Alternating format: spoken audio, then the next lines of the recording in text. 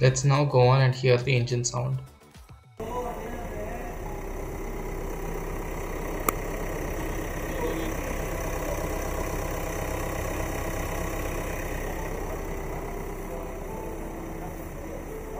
The front bumper is undamaged and the paintwork is unscratched.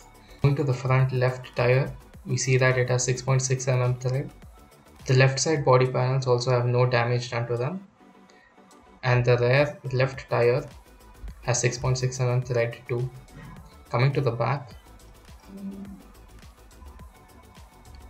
we see that the car has no damage done to it. And now to the rear right tire, we see that it has 6.1 mm tread. The right side body panels also have no damage done to them. And the front right tire has 6.6 mm tread remaining. Now let's finish the walk around with the front view of the car.